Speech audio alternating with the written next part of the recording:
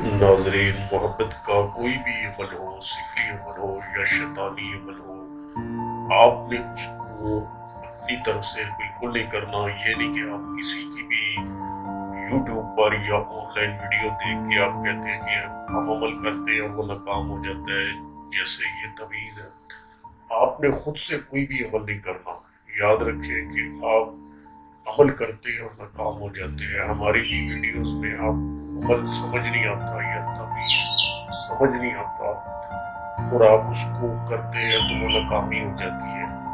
इसलिए हम जो है वीडियोस में आपको मुकम्मल तरीका या अमलियात समझा नहीं सकते एक वीडियो में। इसके लिए आपको रबता करना पड़ेगा।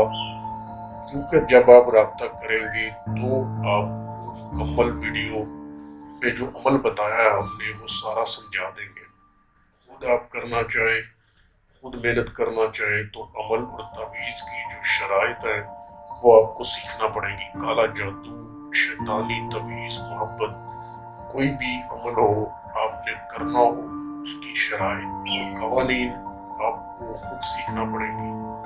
तो वो अमल कैसे होगा, किस तरह किया जाएगा, किस साथ में किया जाएगा और आपको कैसे सौ फ़ीसद कामयाबी मिलेगी, ये सारी मालूम आपको फ़ोन पर आपके हिसाब से जब आप रबता करेंगे तो आपको देंगे तो आपका सौ फ़ीसद अमल कामयाब भी होगा और आपको नाकामी भी नहीं होगी।